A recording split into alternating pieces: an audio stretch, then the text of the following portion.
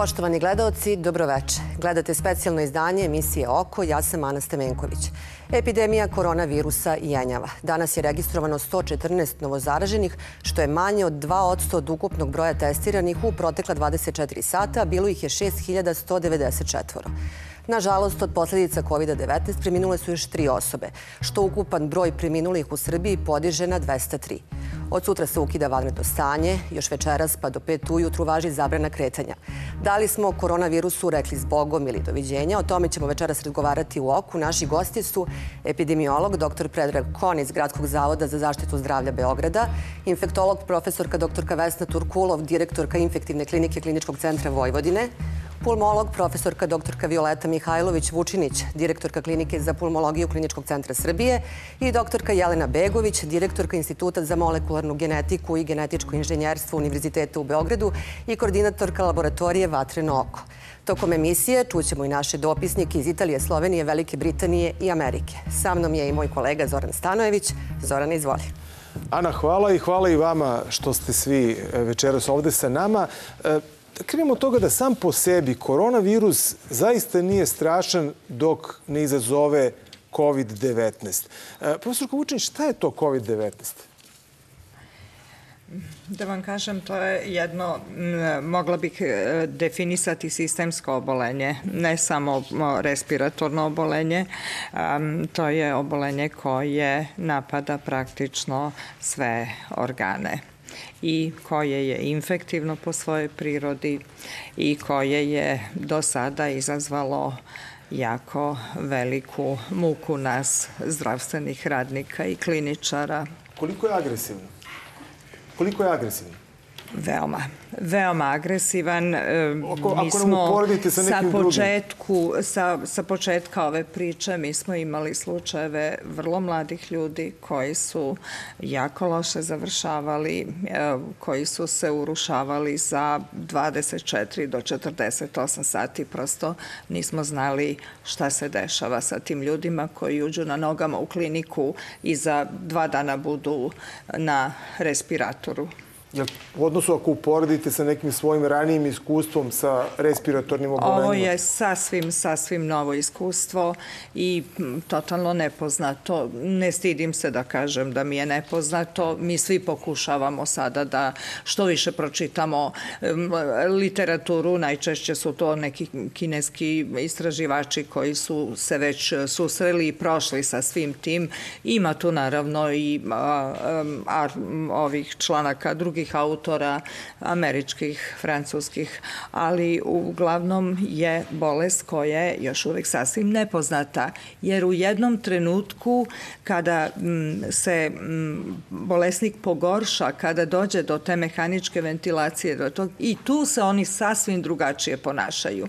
Imate bolesnike koji imaju neka elastična pluća i gde taj respirator jako dobro napravi potporu. Imate bolesnike bolesnike koji prosto imaju rigidna pluća, naravno sve je izazvano upravo COVID-19. Zašto je to sa jedne strane jedna grupa njih koja mm, ima respirator za potporu kao benefit, a druga koja prosto neće da istoleriše taj respirator koga morate držati na nekom niv modu i nekim drugim um, high flow, visoki protoci kiselnika i tako, to ja ja zaista ne znam. Postoji ova teorija od nekim subklasama virusa. Sigurno da će neka buduća istraživanja, možda, možda genotipska, u, unutar ovih m, m, obolelih, unutar ovih bolesnika, znači nešto da nam kažu, možda oni... A, ali za to su potrebne godine, pretpostavljam. Za to su potrebne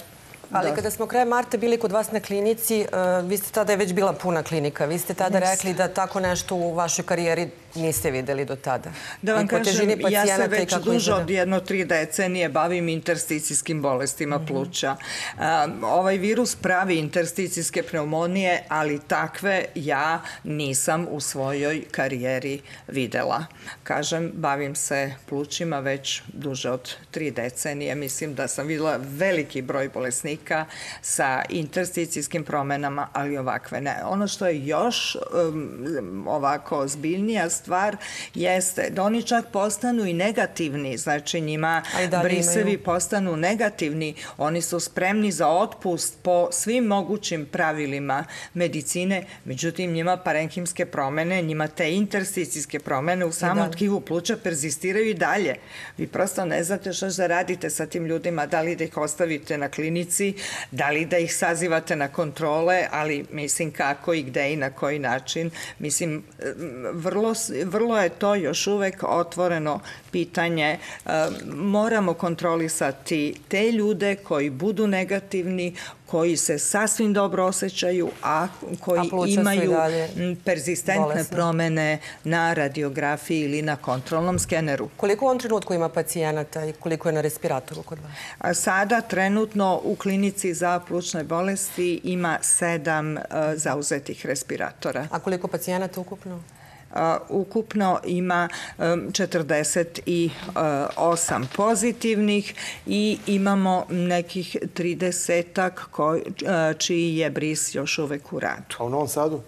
U Novom Sadu mi smo zaista mnogo bolje prošli ovu epidemiju u odnosu na ostatak zemlje, tako da mi danas imamo 32 pacijenta koje su na bolničkom lečenju sa COVID-19 infekcijom i svega dva pacijenta na mehaničkoj ventilaciji. Do sada 208 pacijenata je otpušteno sa bolničkog lečenja. Imamo 21 pacijenta koji su završili smrtno, od toga 14 sa teškim pridruženim drugim bolestima, ostali su imali neke druge pridružena obolenja, ali ne tako e, velikog intenziteta. Ja bih se samo nadovezala na profesorku, zaista taj oporavak plućnog parenhima, ja sam infektolog, nisam, nisam pulmolog, ali zaista jako sporo ide regresije tih pneumonija i e, zaista treba e, plućna rehabilitacija, jedna ozbiljna i praćanja od strane pulmologa e, i zbog eventualne fibroze pluća, možda neke primene kortikosteroidne terapije i slično. Danas je, evo danas, ne znam da li slučajno ovaj dan tako, ali danas je tačno dva meseca od kako je prvi slučaj COVID infekcije, 6. mart, 6. mart potvrđen u da. Srbiji znate da je to bio naš nulti pacijent, on je danas bio na kontroli. E, njegov rengijski snimak e, pluća je dobar, ali rehabilitacija plućna još uvek traje, tako da su to neke vežbe disanja. I mi imamo četiri pacijenta koji su skinuta sa mehaničke ventilacije, dvoje su još uvek na bolničkom lečenju, a dvoje su upućeni u sekundarne ustanove upravo na jednu e, dugotrajniju plućnu rehabilitaciju. Ali vas kao infektologa iznenadio virus? Kad vidite kakve simptome pravio, koliko se brzo širio, kako se menjala klinička slika pacijenta? Pa mogu da kažem jeste. Zaista je drugačije u odnosu na sve do što, što smo do sad videli. Ja imam da je to do godine tri decenije iskustva kliničkog, tako da zaista je nešto potpuno drugačije. Imali smo i epidemije gripa i morbila i groznice zapadnog nila, ali zaista ovo je nešto potpuno drugačije. U početku se pričalo da je manje infektivan nego virus gripa, da, da se baš nije, da nije toliko kontagiozan, što je ispalo da uopšte nije tako. E sad kad smo gledali, zapravo čitali radove iz Kine, videli smo da su oni imali mali procenak diaralnog sindroma, proliva pokriva svega u 3%, mi smo imali mnogo većem procentu. Da. Sad još uvek nismo sumirali te rezultate, pošto još uvek epidemija traje, pa to polako ovaj, sumiramo i skupljamo te rezultate. Kad bude sve prošlo, ćemo napraviti neku analizu, ali mogu da kažem da u odnosu na iskustva uh, kineskih lekara imali smo veći procenat, recimo, dijeralnog sindroma u odnosu na, na ostalo. Ali zaista mi uh, u kliničkom centru Vojvodine i, i u no, zapravo u severnom delu naše Srbije smo imali zaista mali broj ovaj, obolelih u odnosu na ostatak. Je li uporediv sa nečim? Je li previše ili naivno reći da je to da bi to mogla bude tuberkuloza 21. veka? Pa evo, ne znam, pulmolozi, mm. epidemiolozi. Pa da vam kažem, tuberkuloza jeste bila vrlo smrtonosna nalik na ovo pre, naravno, vakcine. Prva vakcina je data 1921. godine, to je onaj BCG, čuveni Bacillus calmette i od tada imamo neku drugačiju predstavu o tuberkulozi. Ja sam razmišljala, klinika postoji od 39. godine, kako li je bilo onim starim pneumofiziolozima koji su morali da leče bolesnike sa tuberkulozom pre vakcine pre lekova ako hoćemo na kraju, jer i lekovi i terapija tuberkuloze nije tako stara, nije stara, mislim, decenijama. A, tako da može se reći na neki način, jest, Jeste. A razlikovali su se pacijenti koji su na početku stizali, e, koji su dobili virus, da tako kažem, iz inostranstva i posle toga kad je počeo virus da se širi Jeste, zaista, u okviru populacije, populacije po težini. Da jeste, zaista. Da. Mi smo imali te prve slučajeve, to su, tu su bili, da kažemo, italijanski slučaje, to su zaista bili najteži, to su ti pacijenti koji su se jako brzo slošavali, koji su dolazili u teškom stanju. Kad je počeo da se širi u populaciji, mislim da, da je jenjavalo i da su mnogo, da kažem, blaže kliničke slike bile i evo, kao što je i kolega Goran Stevanović iz Beograda rekao, zaista mi dve, tri nedelje unazad nismo imali pacijenta koji je stavljen na mehaničku ventilaciju i ova dva pacijenta koji su trenutno na mehaničkoj ventilaciji su, da ne kažem, skoro već mesec dana na mehaničkoj ventilaciji, oni su davno intubirani, tako da nismo imali u poslednje vreme novo intubiranih, a zaista je to u početku bilo mnogo progresivnije, zaista vrlo brzo su se ovaj, slošavali od, u odnosu na početak bolesti. Doktore Kova, na kraju smo blizu kraja devete nedelje. Koliko smo upoznali virus? Koliko je vama sad sve ovo drugačije u odnosu na početak? Da. Ili Pa, da prvo prokomentarišemo i prvo današnje da kažem podatke? Vezano ovo za poređenje s tuberkulozom, zato što je mikobakterijum tuberkuloze ovaj, ipak daleko otporniji u spoljašnjoj sredini i e, više je, više je bio prisutan, Mhm. masovno je bio prisutan. E, e, ovaj koronavirus je ipak virus i on ne može da opstane toliko u spoljnoj sredini, pa tako da jednostavno mislim da, da neće isti, isti, iste posledice da izazove i da bude upamćen istorijski e, toliko, što ne znači da je u ovom trenutku e, i tekako ovaj, velika opasnost upravo zbog toga što nemamo ni lek, nemamo ni vakcinu, nemamo i onda to deluje, ali je ovaj, mikobakterijum tuberkulosis ipak da kažem, daleko otporniji, mogo je u, prašini da se zadrži i, i godinama. Ovo, ovo to ipak ne može da, da, se, da se dogodi. E, šta smo upoznali? Pa upoznali smo se onako kako smo se upoznali. Ovaj, e, jednostavno, e, relativno brzo smo shvatili da se radi o jednom ozbiljnom agensu koji je smrtonosan. E, ne samo što smo to slušali, nego smo vrlo brzo i, nažalost, e, i videli. E, tako da mislim da smo reagovali onako kako je moralo da se reaguje. Danas je lako pričati o tome da li je bilo preterano ili nije. To će se pričati decenijama. Ne šalim se kad to kažem, jer je, jer je jednostavno tema e, takva da će biti aktuelna svaki put kad se neka nova pandemija e, dogodi, pa će se opet raspravljati o tome šta je prethodno preduzimano. Ovo je jedno izuzetno iskustvo vezano za korišćenje vanrednog stanja za suzbijanje jedne ovaj, epidemije. E, ja lično e, doživljam da je to uvelo e, veliku efikasnost, s druge strane i brzinu reagovanja, što je nesumljivo. S druge strane vidimo da ima jako puno ovaj, da kažem, nekih kritika koje dolaze vezano za ovaj, građanska prava. To je nešto što se uvek dešavalo u svim e, epidemijama, pogotovo karantinskog tipa iz nekog e, prošlog vremena. Tada je isto bilo vrlo snažnih otpora e, tome, ali se to tada tako rešavalo.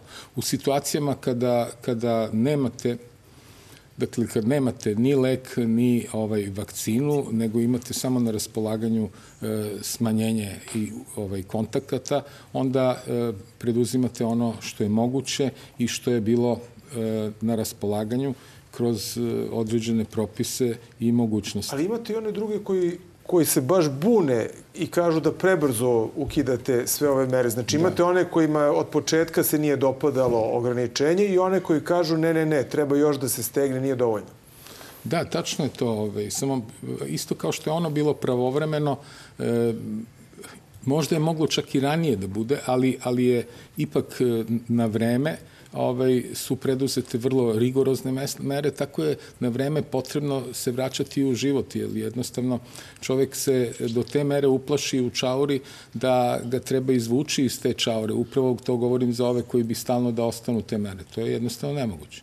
Ali epidemija ostaje i vanredne mere. Da, da, epidemija ostaje, mi imamo proglašenu Preventivne, epidemiju, imamo i dalje vanredne mere koje možemo da primenjujemo e, onako kako smatramo da je odgovarajuće u određenom trenutku. Doktorko e, Begović, jesmo li razrešili pitanje porekla ovog virusa? Da li je nauka se dogovorila oko toga, barem da li je zaista prirodan ili je veštački stvoren? Teško pitanje. Ovo je ovaj, postalo više političko pitanje, moram da ovaj, priznam sada ovih dana. E, zaista najveći broj studija za sada, uključujući i na samom početku kada ovaj korona sekvencirana od strane baš američkih univerziteta, je apsolutno bila decidirana da je ovo prirodno nastao virus. Puno puta smo pominjali da ovaj virus već šest puta je prodirao u ljudsku populaciju, znači ovo nije ništa novo i on je zaista i bio jedan od da kažem, ciljanih virusa od kojih se očekivalo da može da izazove ozbiljnu pandemiju. Znači, nije ovo bilo takvo iznenađenje u tom smislu. Jeste da su se sistemi iznenadili, jeste da nismo globalno bili dovoljno pripremljeni, ali nije bilo iznenađenje da nije očekivati da je korona tako je će ovo izazvati pandemiju. Tako da za sada istraživanja ukazuju na to da se ne radi o veštački kreiranom virusu. A kako vama izgleda virus? A, izanaliziran sad, barem za početak, ima već određene mutacije? On je, ovaj, da, on je iščitan već da. i kad je krenulo u Wuhanu i tako dalje, prvi su sekvencirani. Trenutno postoje tri tipa, A, B, C, međutim postoji i podtipovi, treba će vremena, ali mislim da sada je moment e, intenzivnog sekvenciranja samog virusa i dosta će se iz toga ovaj, saznati verovatno korelacije koji je tip bio dominantan u određenoj populaciji s jedne strane.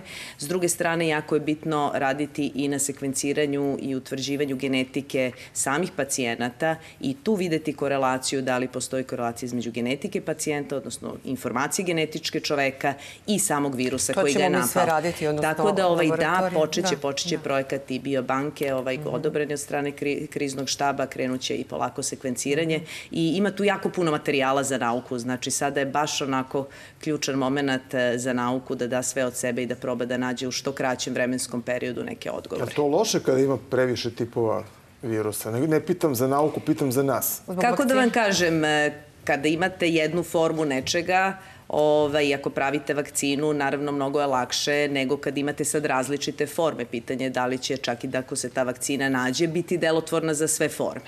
E, ovo su virusi koji se menjaju, takav je tip e, virusa i bilo je za očekivati da će se menjati. E, znači, moguće da dobijemo vakcinu i da ja dobijem vakcinu da se opet zarazim koronavirusom? E, ako je vakcina delotvorna, ona bi trebala da bude delotvorna. Bez obzira na tipove Ako je delotvorna za sve tipove, sad tu postoje ovaj e, problemi u kom delu je mutacija, da li ta promena utiče na to, da li će vakcina biti efikasna ili ne. Ima tu još dosta ovaj nepoznanica. E, radi se u svim svetskim centrima, zaista istraživačkim i u farmaceutskoj industriji, radi se na vakcini. A sada imate oko 2500 e, testiranih ljudi, na primjer, za 24 sata. Zaraznost virusa manja sada? Manje Pazite, meni je jako ljudi, teško... Ako danas imamo manje od 2% U više centara se e, da, dešava da. ovaj testiranje. Tako da mi dobijamo iz, da kažem, od jedne grupe zdravstvenih ustanova, e, ne možemo mi da izvučemo taj zaključak. Uh -huh. To mora na nivou dnevnom, ajde da kažem dnevnom nivou, sve ukupno pokupljenih rezultata i onda se izlači statistika. Ne možete... manje od 2%, to znači da slabi da slabi virus. Ne, to, da... to znači jednostavno to što znači. To je znači da je 1,8% bilo pozitivno od 6194. Da. To znači, Tako samo je. to. A šta to znači? To onda idemo, znači? idemo, dakle, manje, manje ima zaražavanja. To je sasvim sigurno. A kad ima manje zaražavanja, to onda verovatno je posljedica što manje ima kontakat. Prema tome, više se vezujemo za te kontakte, zato, zato smo i pričali stalno zabrana kontakta. Jer kad nema kontakata, onda virus nema gde da ide. I na kraju, kad nema gde da ide, on polako počinje da izumire. A koliko se sam virus promenio da izaziva lakše obolanje, pa to, to, to To, to će tek biti posle To će tek da se, da se da. razmišlja. Znači, Teko postoje neke, neke indicije, ne, ne, neko razmišljanje da, da je možda i zbog toga što je virus, e, kako mi kažemo, oslabio, u stvari izgubio virulanciju zbog neke mutacije, ali to je sve vrlo onako nagađanje. Nagađanje i vrlo ovako jednostavno čisto teoretisanje. I, ali ono što je činjenica, to, je, to su brojke. Brojke su činjenice. Uh -huh. A brojke su dobre. Sada Brojke na kraju pokazuju svega. da je 1,8% pozitivno od I ove druge, 6194. da. Svi ste imali kontakte, one dozvoljene sa kineskim stručnjacima. E, Sedam nedelja su e, u Srbiji, u Beogradu. Deo tima je otišao, deo tima, novi, novi deo tima je došao. E, Oni su zaslužni što imamo i laboratoriju Vatreno oko i što smo mnogo stvari uradili u borbi protiv koronavirusa. Mi smo razgovarali sa delom tima kineskih stručnjaka pa da čujemo šta su rekli. Kakva je trenutno situacija u Srbiji i šta i kako dalje. Kada će kraj epidemije? Pa zavisi kako se budete ponašali u budućnosti. Sada je situacija naravno znatno bolja, ali da bismo došli do nula zaraženih i da bi se potpuno epidemija kontrolisala, to je poprilično teško. Morat ćemo da se naviknemo, da se naučimo na život sa virusom. Možemo mi ovde da govorimo i o kraju epidemije. Čak možemo da govorimo i o nula zaraženih. Nadamo se da će to tako uskoro i biti. Ali epidemija je tu oko nas i vas, u drugim zemljama. Srbija je dobro iskontrolisala situaciju, ali otvaranjem granica virus lako može da se unese u zemlju. I iz tog razloga moramo da se spremimo na stalnu borbu sa virusom. A kako bismo uspeli da se zaštitimo u budućnosti, neophodno je da nosimo maske i to da se spremimo da ćemo pod maskama biti još dugo, jer je to jedini način da štitimo sebe, ali i druge. Ja sam tek stigao u Srbiju sa još dvoje članova tima i mi se upoznajemo sa epidemiološkom situacijom. Ali čini mi se da je sada u Srbiji isto kao što je bilo u martu u Wuhanu, kada je epidemija načelno bila stavljena pod kontrolu. Bilo je primetno smanjenje novoobolelih i naš glavni zadatak jeste prevencija i kontrola da ne dođe do novog talasa. I druga stvar, pošto će biti ukinuto vanredno stanje, bit će otvarane granice, jako je važno da se virus ne uveze ponovo. Jako smo srećni što je u Srbiji postignut dobar rezultat i to pre svega zbog odlične saradnje stručnjaka iz Srbije i nas iz Kine, jer smo uložili svi zajedno veliki napor. Epidemija je stavljena pod kontrolu, manje je novozaraženih i sada je stvarno najvažnije da ne dođe do nekih propusta. Ukida se vanredno stanje i policijski čas, otvaraju se granice, ljudi se vraćaju na posao i sve to mora da bude pažljivo i kontrolisano kako ne bi došlo do novog talasa epidemije. Takođe, tamo gde su se pojavljivala i gde će se sigurno pojavljivati manja žarišta, kao na primjer u staračkim domovima ili nekim drugim institucijama, važno je da se tu situacija pažljivo prati.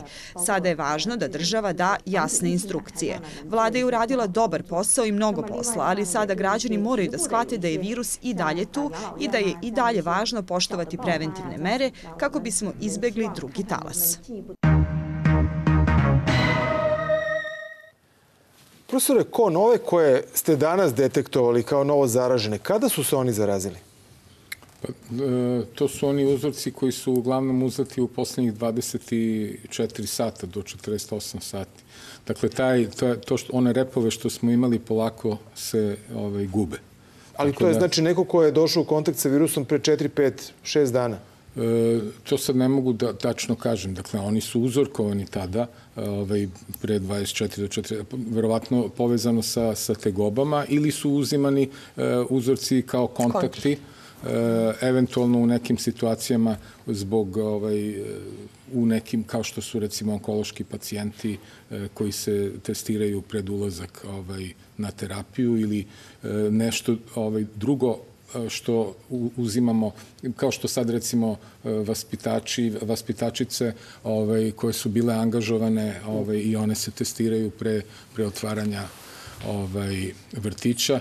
Dakle, tu, je, tu su e, uzorci koji su uzimani od svih i, i na osnovu ovaj, toga. I, e, ne računaju se ovi testirani, to su samo prvi uzorci. Znači, ne računaju se retestiranja, nego samo prvi E sad, čuli smo kineske doktore koji kažu da smo mi tamo gde je Wuhan bio, recimo u martu, otprilike kad je ovde počinjalo, tamo se završavalo. Šta nikako ne treba raditi sad kad smo jeli slobodni da se krećemo? Da. Pa prvo i osnovno treba da, da shvatimo da je virus i dalje tu.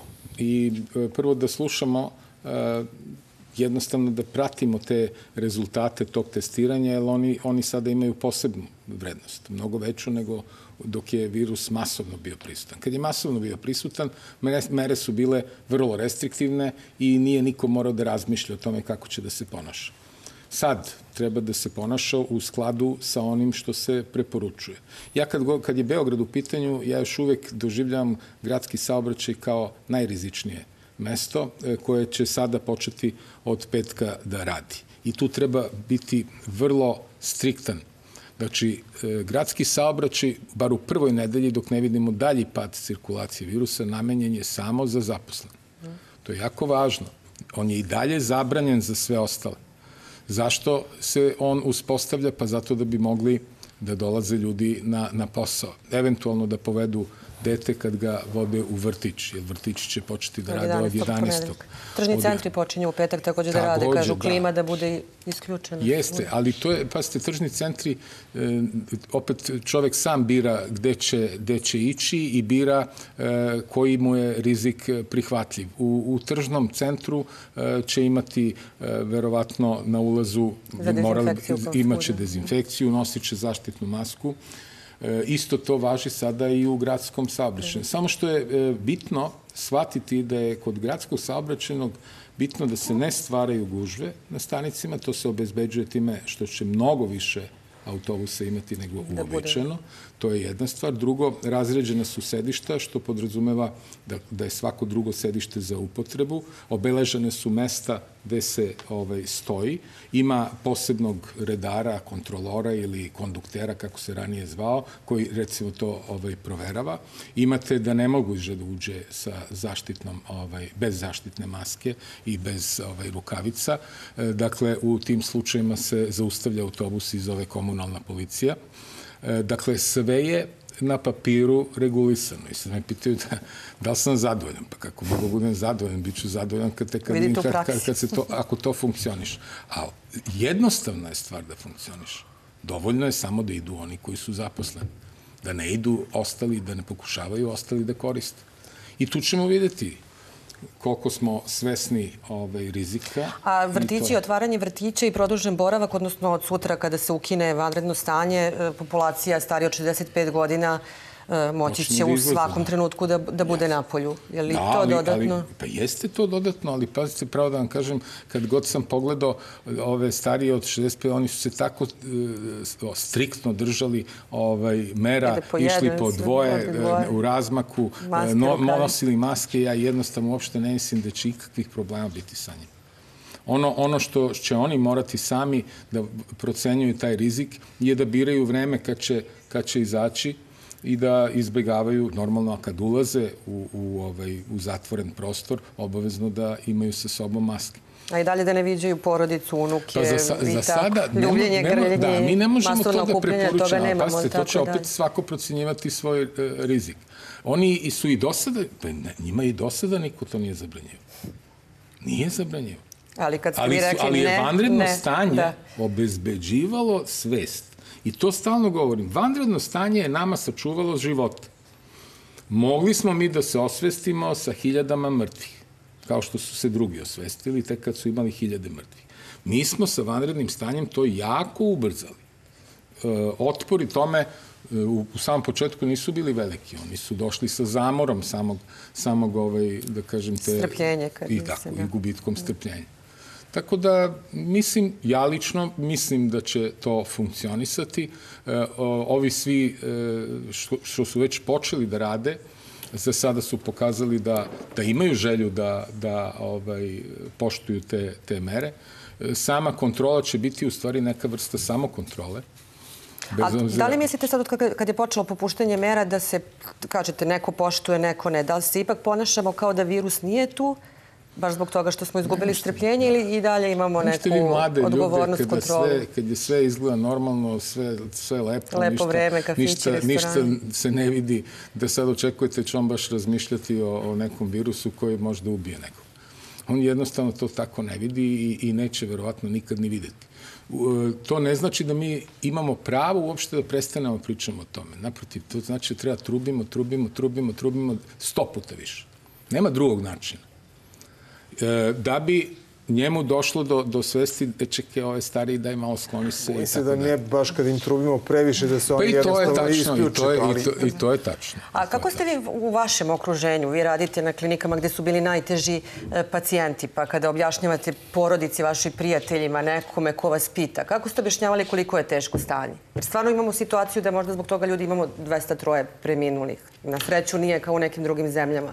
Ali kao da nismo bili dovoljno svesni koliko je ozbiljno i teško. Da, uglavnom e, jesmo imali problem sa saopštavanjem i uopšte sa, sa objašnjavanjem, približavanjem, približavanjem porodicama da je recimo neko njihov životno ugrožen, a kažem prethodni dan je ušao u kliniku na nogama ili sa nekom temperaturom 37-8, a sutradan je životno ugrožen. To prosto ljudi nisu mogli da, da shvate.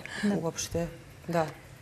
Uopšte pa ljudima koji vas možda poznaju pa pitaju pa ja mislim da je kod nas strah kako... bio malo veći, da kažem, prilično su ljudi bili, prilično su bili uplašeni, stari pogotovo, oni su se zaista pridržavali, prag nisu kućni prelazili od svojih roditelja, pa nadalje zaista vidim da su oni jako plaše i da jako poštuju ovaj, sva pravila, čak i sad kada su relaksirane meno, mere, oni su vrlo uzdržani po tom pitanju. Što se tiče uh, ovako uopšte populacije, mislim da je prilično uplašena, bar kod nas. -hmm. Ja znam da sam stalno dobijala poruke na mobilne telefone prijatelja, poznanika, sve kako je, držite se, pa Čuvajte prvo bodri su nas i pazite, jako su se. Da. pazili, čujemo se do danjeg samo telefonom, ne vidimo se, tako da prilično jeste bilo Mnogi se nisu vraćali kućama sa klinike, nego su iznajmljivali stanove, ili su redukovali kontakte, zaista na minimum minimuma, tako da... E, doktorka, vi u laboratoriji imate one nivoje zaštite. E, ljudi koji su počeli tu da rade, prošli su naravno obuku, mikrobiolozi, laboranti, da. sa, sa kolegama iz Kine. Je li bilo straha?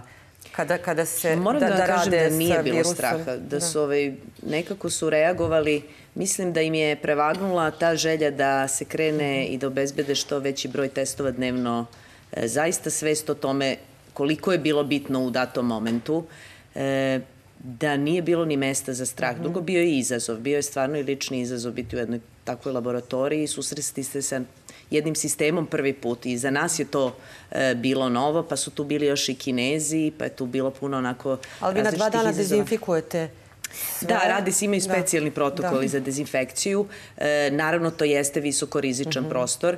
E, trenutno ne dolazi veliki broj e, pozitivnih uzoraka, ali svejedno jeste visoko rizičan prostor. Ljudi su svesni, da, ljudi su svesni toga, ali nisam osetila, e, mhm. nisam osetila strah. Bilo je tu više onako dobre energije. Hvala. Nastavit ćemo e, razgovor. U Milanu je naša koleginica Sanja Lučić koja nam se od početka epidemije javlja iz Italije gotovo svakodnevno. E, Sanja, da li je epidemija u Italiji završena i sprema li se zemlja za povratak redovnom životu? Dobroveče. Epidemija u Italiji svakako nije još uvek završena. Naime, mi smo tek krenuli sa tom fazom 2 u ponedeljak 4. maja. Naša vlada, italijanska vlada je izabrala postepen izlazak iz karantina. To znači da se 4. maja uh, izašlo iz karantina 4 miliona ljudi. To su ljudi koji rade u nekim fabrikama koje su potrebne za naravno održavanje svakodnevnog života i veleprodaji, dok će recimo 18. maja da se otvore biblioteke biblioteke i galerije. 30. maja se te, odnosno uh, tek 1. juna se očekuje otvaranje restorana, kafića i frizerskih salona, što izaziva veliko negodovanje, naravno ljudi koji rade u tom sektoru, jer smatraju da će na taj način doći u situaciju da neće moći zapravo uopšte ni da otvore. Trenutno restorani i kafići rade samo na taj način što dođete i naručite hranu i odnesete je kući. Naučno-tehnički tim predsednika Kontea je predvideo pet mogućih scenarija scenarija u Italiji. Prvi je naravno najidealniji, a to znači da se krivulja uh, spušta, da je silazna krivulja. Drugi je kao do sada, odnosno kao danas. Mi recimo danas imamo 1900 zaraženih uh, ukupno, uh, u, najveći broj da kažemo je u Lombardiji, dok još uvek imamo veliki broj preminulih 369. Treći scenario podrazumeva ponovni ulazak u karantina, a to bi bilo kada bi došli do cifre 359 zaraženih, zatim katastrofalne cifre koji su četiri, četvrti i peti scenario, a to znači da dođemo u onu situaciju u kojoj smo bili pre dva meseca i svi se nadaju naravno da se to neće desiti građani Milana i cele Italije izuzetno poštuju karantin, bez obzira na to što mi od ponedeljka 4. maja možemo dakle da izlazimo u šetnju, možemo da odlazimo u parkove. 4 miliona ljudi, kao što sam rekla, je krenulo na posao i može da se vozi gradskim prevozom. Gradski prevoz je prazan. Ja sam danas upravo za oko obišla centar grada i ono što sam videla jeste da svi nose maske i rukavice. Čak postoji jako mnogo ljudi koji upozoravaju druge građane na to da u tom momentu treba da drže masku i preko nosa, jer mnogi građani vrlo često masku nose samo preko usta, dakle, ostavljaju otvoren nos ili kada pričaju potpuno je skinu. Tako da mogu da kažem da je prevoz e, skoro pa prazan, naime radi i sa 50% kapaciteta, tako da ljudi izbegavaju da se voze prevozom jer još uvek postoji strah od virusa ovde u Italiji i preferiraju bicikl i sobstveni automobil. Hvala. Hvala Sanja. Čuvaj se i dalje.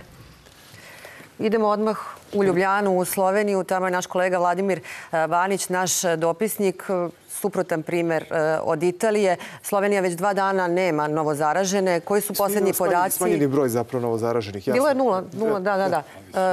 E, tako da. E, kako se Slovenija otvara? Testiranje, imali ste proveru prokuženosti populacije. Šta možeš da nam kažeš? Koje su poslednje informacije?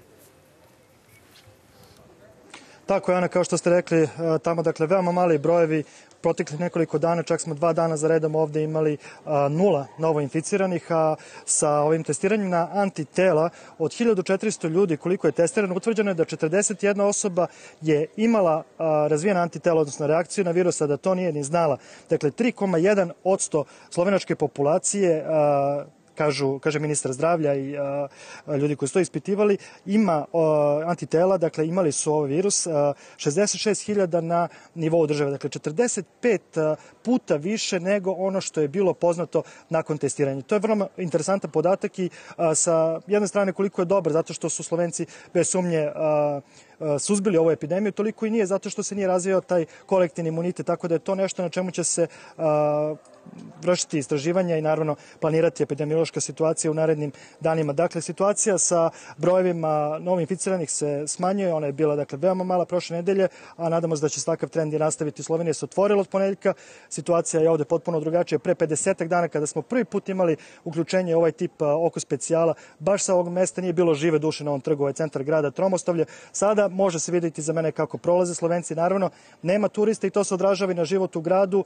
A, dosta lokala koji su bili mogućnosti da se otvore od ponedeljka, to nisu radili zbog toga što im se ne isplati. A, naravno, a, nekretnine su sad jeftinije nego što su bile, a i kada je u pitanju turizam, Slovenci se oslanjaju ove godine pre svega na svoje goste, dakle Slovenci računaju da će kapacitete i na planini i na moru popuniti domaći gosti. Tako da je situacija značajno relaksiranija. Sada ljudi dalje nose maske samo u zatvorenom prostoru, umesto rukavica sada su svuda stavljena sredstva za dezinfekciju, tako da je to nešto što pomaže da se ljudi osjećaju sigurni i naravno da se suzbije ovaj virus ako ga još negdje ima da nije poznat. To je to iz Ljubljane. Nadam se da se sa, po veliki pozdrav za vaše goste, nadam se da se na jesen ovom prilikom nećemo vidjeti više sa njima, da će biti bolje teme. Vidimo uskoro u Beogradu. Stigo si da se ošišaš. To, to je dobro. Počeli su da radi frizeri. Jesam, jedva, dakle, imao sam par dana, od ponedeljka su počeli da rade frizeri, ja sam danas dobio termin u jedan sat, imao sam 20 minuta i posle toga je 15 minuta trebalo da salon bude prazan kako bi a, se dezinfikovao potpuno i kako bi mogao da dođe sledeći gost, odnosno mušterija posle mene da se ošiši. Imam samo još jedno pitanje. Konačno. Kada si bio u Francuskoj i Japanu, posle toga si te, se testirao, a, tada si bio negativan. Da li ćeš se možda sad testirati posle, dugo si u Sloveniji, a, hoćeš možda proveriti svoj status? Pa ja, Ja, ja bih hteo, naravno, mislim, mi nastavljamo da izveštavamo o koronavirusu i situacije u Italiji, u Austriji, u Nemačkoj, će biti vrlo interesantna za nas. Sad ima nešto vrlo dobro što je, recimo, zgodno za nas novinare, to je da Austrija dozvoljava da se uđe na njihovu teritoriju i da se bude tamo ako imamo a, nalaz koji je najmanje četiri dana negativan. Takođe, ako budem hteo da idem kući. Naravno, ako Hrvatska bude tražila da ja i moja porodica imamo negativan nalaz, mi ćemo morati to da uradimo. Nadam se da neće tražiti samo za prolaz za Srbiju, ali to je ono što je dobro, što ljudi sada mogu da, ili ako imaju boljke, se požale na to i odu na testiranje. Ima dosta mogućnosti za testove ili jednostavno ako imaju radnu obavezu, nešto što im je od gorućeg značaja da, da, da imaju test kako bi dokazali da su negativni, moći će to da urade. Tako da ja ću verovatno naravno kako situacija bude razvijela, ako bude bilo potrebe da izveštavamo kako se Nemačka bude otvarala i Austrija, ja ću raditi taj test opet. On je vrlo neprijatan, dakle taj štapić za uzemanje brisa je prilično dugačak i negde čini se da uđe do pola mozga kako se duboko gurne, ali što se mora nije teško, šta da radimo. Planiraš svuda da, da, da ideš nepopravljiv. Da, Vlado, da. Vlado, hvala ti. Bio Vladimir Banić koji se javio iz Ljubljane. Najnovija vest je da je Skupština Srbije ukinula vanredno stanje, a da vanredne mere ostaju na snazi. E sad, profesore Kone, samo da prokomentarišemo ove slovenačke rezultate. To da su imali, imaju jednocifren broj novo zaraženih.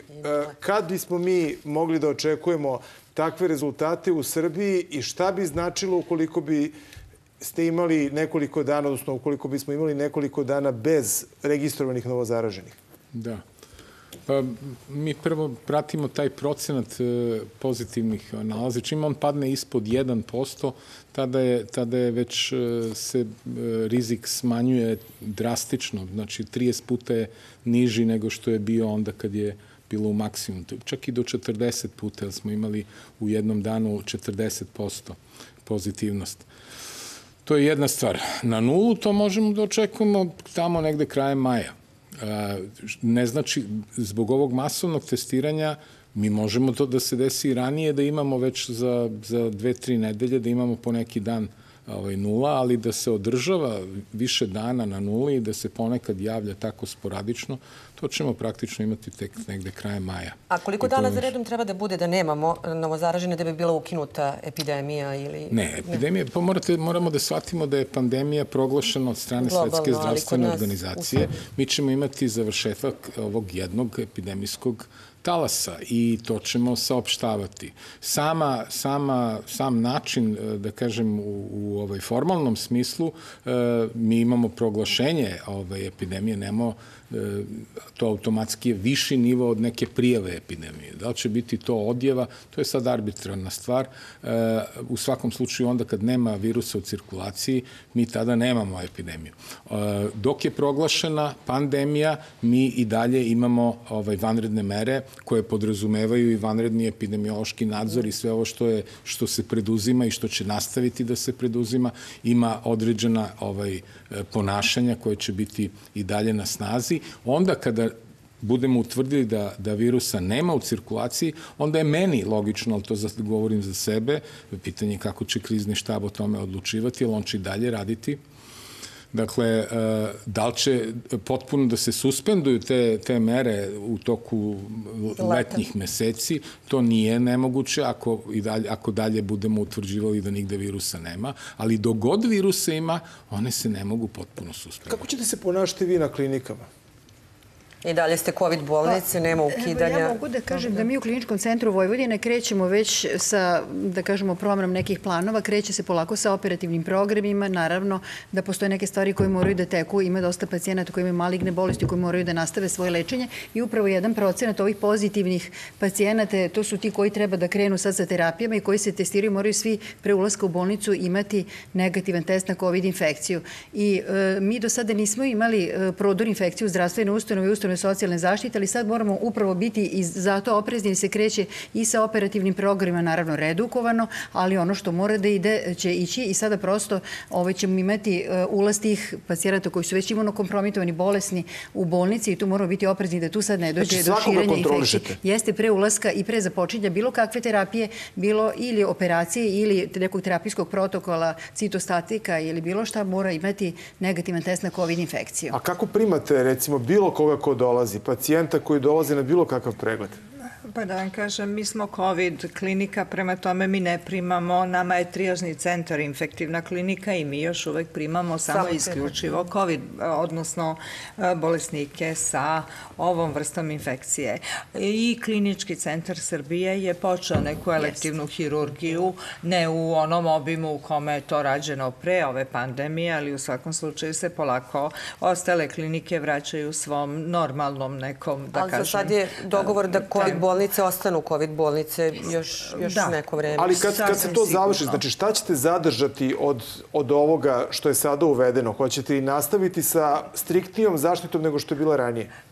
Da, morat će da donesu bolesnici koji ulaze na zakazanu hospitalizaciju, bolesnici koji dolaze na diagnostičke postupke, morat će da donesu uredno negativan test iz svojih COVID ambulanti. To je već pravilo koje važi i morat će da nastavi, ja mislim da važi još jedno izvesno vreme.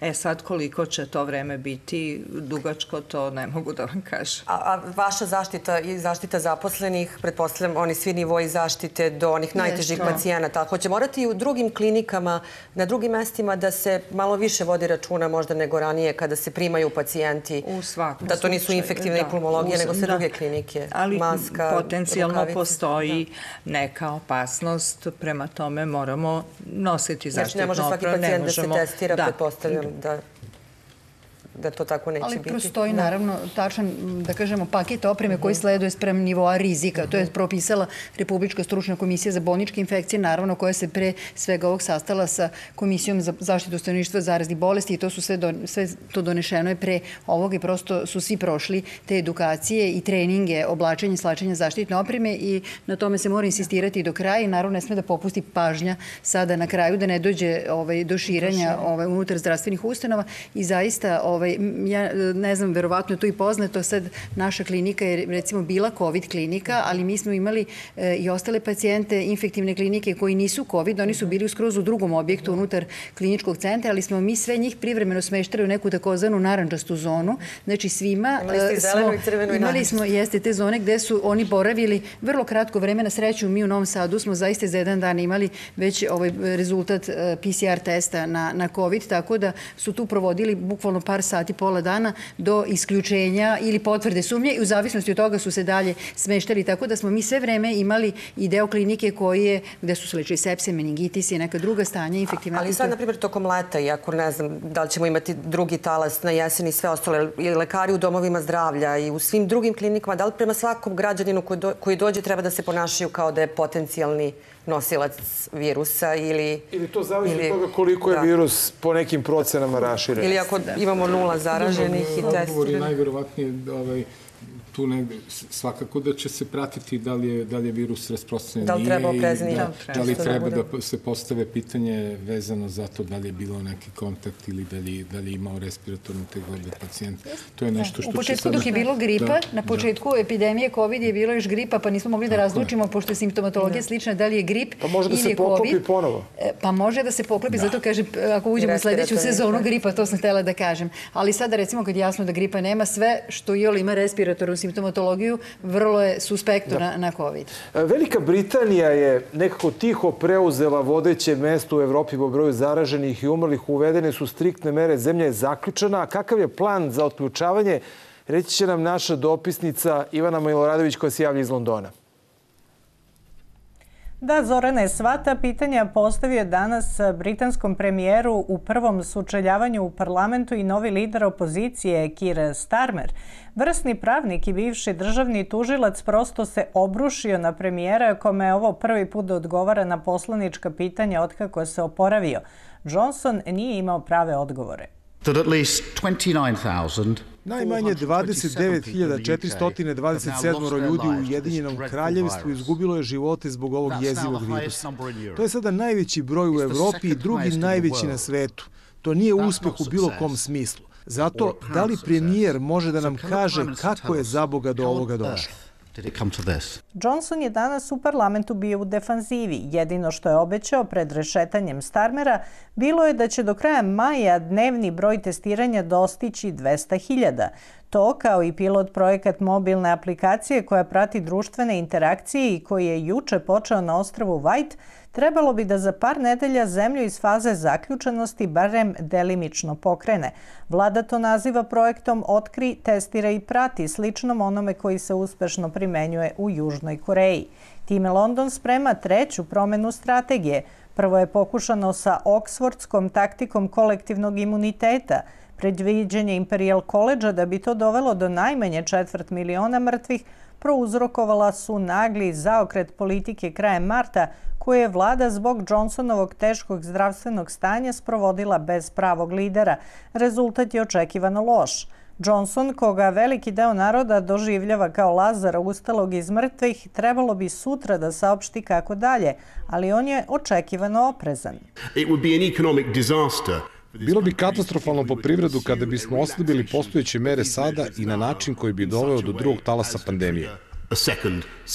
Londonski Times došao je do nacrta plana vlade za postepeno otvaranje zemlje. Prvo bi bile otvorene male, a zatim i velike prodavnice, sportski tereni i kulturne ustanove bi sačekali još neko vreme, a zatim bili otvoreni i u tom smislu jedan lanac bioskopa je već najavio otvaranje za sredinu jula – dok aviokompanije otvaraju svoje rezervacije za leto. Škole i akademske ustanove moraće da sačekaju jesen, kada nacija očekuje i magično rešenje, vakcinu iz Oksforda. Zorane. Ivana Miloradović javila se iz Londona. Samo jedno pitanje je vezano za Borisa Johnsona. On je čovjek pre dve ili tri nedelje praktično bio na samrti. Sad ga vidimo, e, deluje zdrav i prav u parlamentu. Je li to isto specifičnost covid i recimo razlika u odnosu na tuberkulozu gde ne verujem da posle tri nedelje od teškog stanja baš možete da se vratite potpuno? Ne znam u kom, u kom stepenu teškog stanja je a, bio. bio Kažu da je bio na ivici kažu, respiratora, pumpali da, su da mu vazduh bio, ali sad da. ne znam koji je to, što kažu, nivo zahvaćenosti m, pluća i ostalih organa. Očigledno on sada vrlo lepo izgleda. Nis, nemam iskustvo da ljudi koji su na ivici da budu na mehaničkoj ventilaciji, odnosno na respiratoru, mogu da budu tako krepki i puni energije. Dosta vitalno čovek e, deluje za u roku od sedam dana, recimo, od kad je on otpušten iz bolnice, ili tako, ili deset dana možda. Tako nešto. Ja lično nemam tako iskustvo sa našim... Pitanje da li je to lečenje, tako da, da, i to bila samo oksigenoj terapiji, možda je bio samo na kiseoničnoj terapiji, baš sumnjamo da je bio na mehaničkoj ventilaciji. Pa nije bio na mehaničkoj, baš, oni su ga baš, e, nisu ga stavili na mehanički, trudili su se da mu samo upumpavaju, da, ne znam kako se kaže. Da, na invazivno. Ili neinvazivno ili je bio onaj high flow. Ali znači, kažu da je, bio, da, da je bila jako, jako ozbiljna situacija njegova. Znači da je bio, da se ljuljao. Pa onda se jako brzo oporavio za nekog ko je tako bio. Znači, ovo vam nije tipičan primjer onoga što ste vi vidjeli. Ne baš. Po 3-4 nedelje, ako ne i duže, budu, budu pacijenti i, i pluća i drugi organi propadaju. Postoji protokol u lečenju, ali pretpostavljam nije isti za, za svakog pacijenta. I ta antivirusna terapija koja se daje kao potpora lečenju počela je upotreba krvne plazme. Jeste, pa kako terapijski se, protokoli su jasni. Još na početku smo i mi na nacionalnom nivou načinili neke protokole koje smo vremeno malo modifikovali. Svi znate, sad neću ih naravno ovaj ponavljati. Znate da o, antivirusna terapija ne postoji baš direktno, da su neke kliničke studije, postoji neki lekovi koji nisu registrovani, su u fazi kliničkih ispitivanja. Onaj čuveni rek lopinavir i tonavir, to je rek koji se koristi za HIV infekciju, je deo ovaj, terapijskih protokola, kasnije samo e, izuzete su neke kategorije, ali ono što hoću da kažem, e, to je ono što vas interesuje, naravno antibiotici, primjena kortikosteroidne, ostale terapije, imunoglobuline, šta ko, to je sve od slučaja do slučaja. Naravno, od slučaja do slučaja, ali što se tiče primjena konvalescentne plazme, mi smo prošlog vikenda i u e, Zavodu za transfuziju Vojvodine počeli, e, već prva dva pacijenta su bili donatori Bravo, plazme. Naravno, znate već da moraju ispunjavati uslove i donatori i recipijenti. Još ih nismo mhm. primenili zato što naprosto ovi pacijenti koji su nam teški su prošli onaj vremenski period kada im je vreme za primanje plazme, tako da biće prilike. Da. Tako da i naravno biće i davalaca.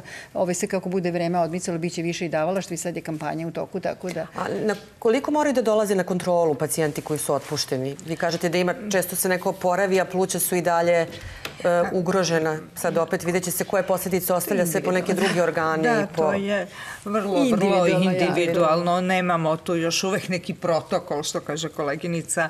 Ali dolazi ali, na sedam dana pa, na kontrolu na Oni bi um, trebali da na 14 dana mm, urade kontrolni test, test, jasno, a one za koje procenimo da imaju zaostale parenhimske promene, mi pozovemo za dve do tri nedelje čisto sa novom radiografijom da bi mogli da, eto, ispratimo šta se dešava. Mi smo počeli onako pionirski da radimo isključivo kod negativnih i to dva, dva negativna testa, testove plućne funkcije, da vidimo, to niko u svetu ne radi, niti imate u literaturi tako nešto, jer prosto je opasno, mislim, budu ti aparati, ne zna se koliko će ostane taj virus u tim, mada mi koristimo i one filtere i sve, ko, i kažem, testiramo isključivo sa dva negativna testa, sprovodimo tu plućnu funkciju, ali to je za sada vrlo, vrlo mali broj, možda nismo ni desetak bolesnika testirali, pa ćemo da vidimo um, etape njihovog oporavka. Doktor Begović, e, je li izvesno da ćemo imati vakcinu za ovaj novi koronavirus i da ćemo imati lek? Ima virusa za koje nema vakcina, ima bolesti za koje nema lekova. Ovaj, ma sve što je u vezi sa ovom koronom nije izvesno. sve zaista, ali, ali zaista, ovaj... o vakcini govorimo kao otprilike da je pitanje kad će biti, ne da li će je biti. Pa pazite, ja nisam toliki stručnjak za vakcine, ali po mom mišljenju e, ako nas je nešto ova korona ovaj, naučila, to je da ne smemo baš biti potpuno sigurni u sebe. E, pokazala nam je niti da vladamo prirodom, pokazala nam je koliko su nam sistemi osetljivi, e, pokazala nam je koliko nedovoljno se globalno ulaže i u zdravstvu i u nauku, e, koji su sada ključni bili u ovoj situaciji, zaista ključnu ulogu odigrali. E, nauka trenutno zaista je na samom početku što se tiče korone. E, izlazi veliki broj publikacija, dosta tih publikacija e, ne prolazi kroz e, preglede, revizije i tako dalje, nego jednostavno zbog brzine i zbog hitnosti izlaze i publikuju se jako puno kontradiktornosti. Razlikuju se često američke studije od, na primjer, kineskih. Pa ne samo da, to, razlikuju da. se i međusobno američke da. studije, razlikuju se i međusobno evropske studije. Jednostavno, još sistem je da kažem, jako sveži. Treba će vreme da se sakupe podaci i treba će vreme nekako da se mnogo organizovanije i ciljanije e, rade velike studije, znači studije na globalnom nivou. Koliko je onda važan kolektivni imunitet? Čuli smo ovo prvo istraživanje koje je urađeno u Sloveniji da negde 2-3% ljudi e, ima antitela i imalo je možda simptomatski virus korona. Pa kolektivni imunitet dovodi praktično do, do regulacije same, same epidemije, samoregulacije gašenja. To ovde se procenjuje kod ovog agensa da je to negde oko preko 50% svakako populacije da treba da bude imuno, da, da ne može da se dešavaju epidemije, nego da se dešavaju samo pojedinačni slučajevi to ovaj, čini se da je to jako daleko. Na Šta mislite kako, prvih... kako će kod nas biti sad kad krene ova ne, ne, ne želim da, da prognozira? Znate zašto? Zato što neće biti jednako na celoj teritoriji. Mm -hmm. Recimo, mislim da će gore u Vojvodini to biti najniže, ali da će u, u, ovaj, u Pomoravlju prvenstveno biti više. E, Beograd će da bude negde između.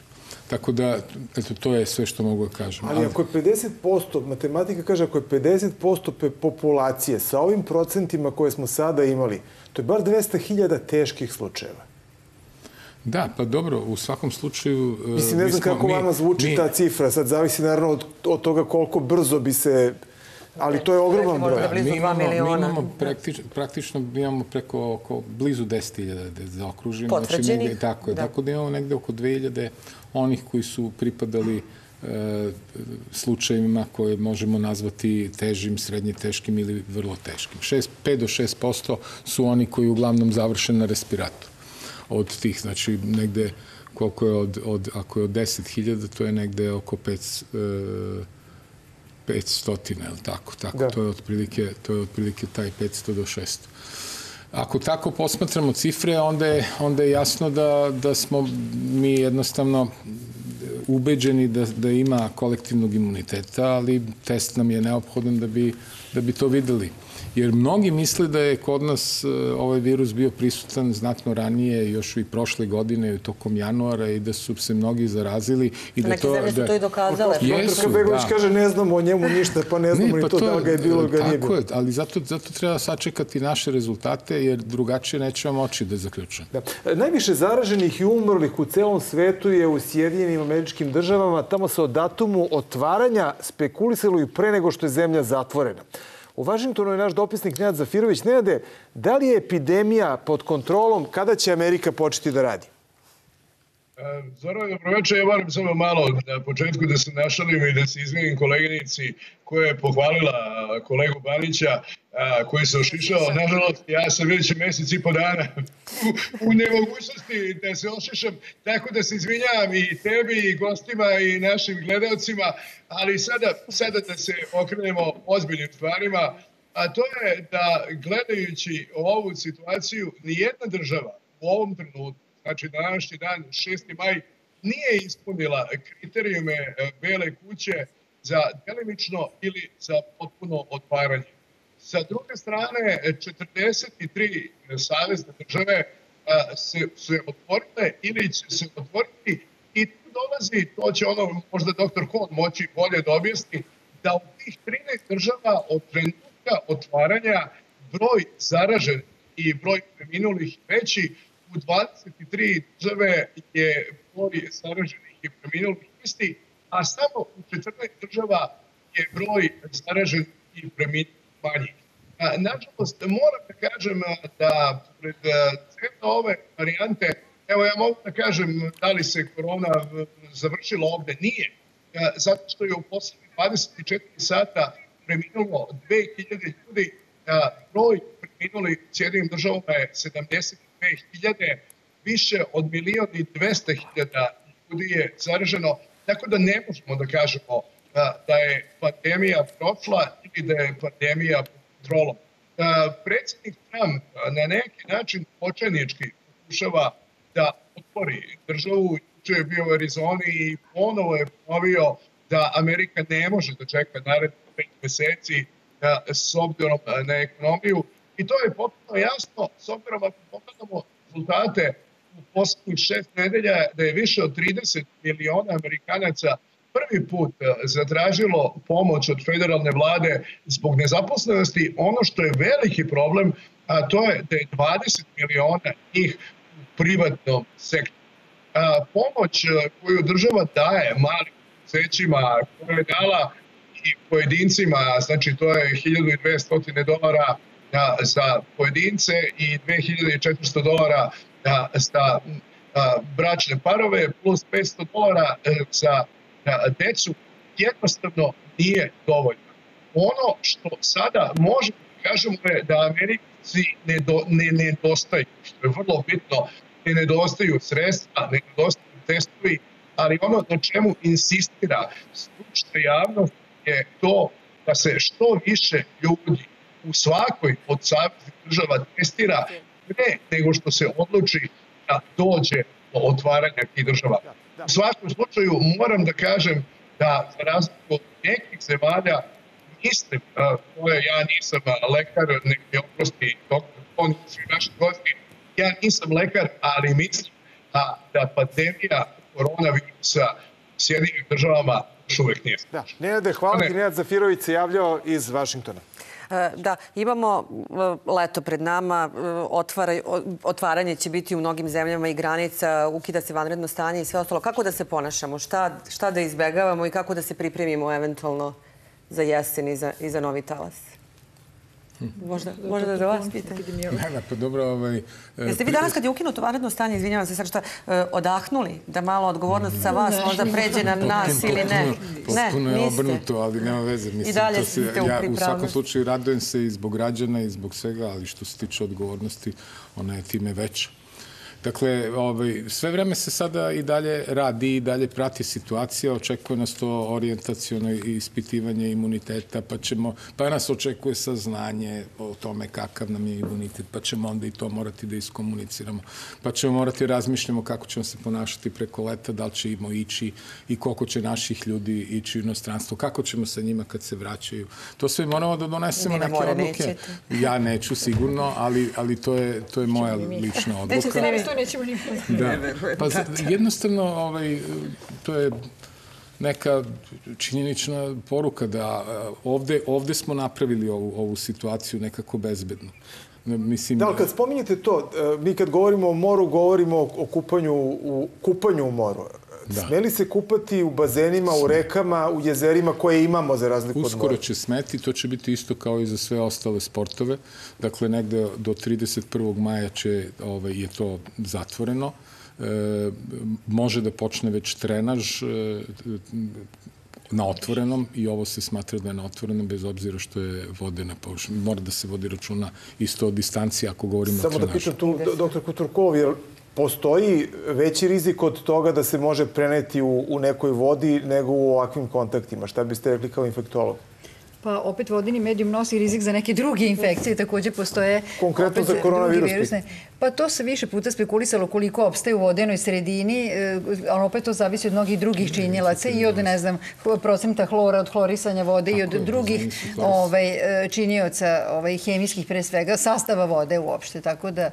Ovaj, Možete li vi da menjate voda? vaše živote kad je ukinuto vanredno stanje ili za vas sve ostaje isto? Za Koja bi bila neka sada sve ostaje poruka isto, na zato što je sada jako bitan moment e, da se održi ovaj nivo testiranja kako bi se potencijalna žarišta, eventualno neke ćelice, jednostavno na vreme e, otkrile i držale pod kontrolom. I mislim da je sada jako, jako bitan moment baš da za, zbog ovaj, e, za rad ove laboratorije i ovih svih laboratorija da održimo još neko vreme e, ovaj nivo testiranja. Samo jednu stvar za kraj. Obično naš narod kaže da svako zlo ima svoje dobro. Je li ima nešto dobro, doktore Kon, ovde?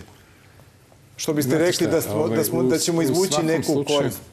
U svakom slučaju ovo je jedan potres koji ko zna da li će doneti nešto dobro, ne, za sada se to ne vidi, ali, ali ako ništa drugo e, potreslo i malo se više shvatilo da je čuvanje narodnog zdravlja nešto što je jako ovaj, bitno i da je, e, da je zdravstveni sistem kao sistem izuzetno bitan i da je jako bitno kako ga čuvamo i da, da ima takvu strukturu da je elastičan, da se adaptira na ovakve situacije. I neko nešto tu dodao? Dobar test i u svakom slučaju ovo bilo se. Mi smo se pokazali da zaista u vrlo kratkom vremenu možemo da se organizujemo, da e, bolnice ispraznimo, da pregrupišemo. Zaista smo, ovo je bio jedan dobar test zdravstvenog sistema. I da nešto popravimo možda? Srbije.